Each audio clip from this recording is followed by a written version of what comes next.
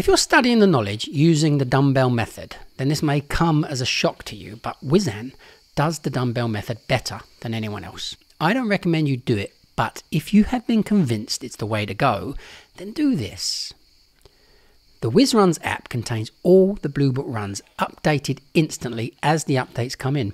Every single run has audio to help you with pronunciation and repetition. Leave on the left green lanes, right Highbury New Park, comply roundabout, leave by Highbury New Park, right Highbury New Park, left Highbury Grove, right St Paul's Road, left and right Highbury Corner, left Upper Street, right Barnsbury Street, left Milner Square, forward Milner Place, forward into Gibson Square. You cannot get a better set of runs or a tool for learning and practicing the runs with. And the Whiz Radius app contains all 640 maps with around 6,000 points in Blue Book order to allow you to use it in conjunction with Whiz Runs. And all the points, times asked, and last asked data is updated weekly, allowing you to filter out the lesser important points.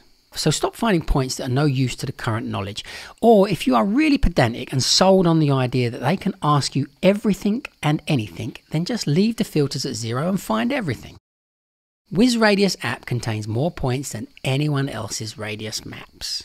So go to Manor Station and do radius map 1 and then do the run and then do radius map 2. That's it, the dumbbell method. Done with up to date data and the latest study aids. So if you want to do the TFL suggested method, there it is. But if you want to listen to my advice, then just do the runs first and build on that foundation. Good luck with whatever you choose.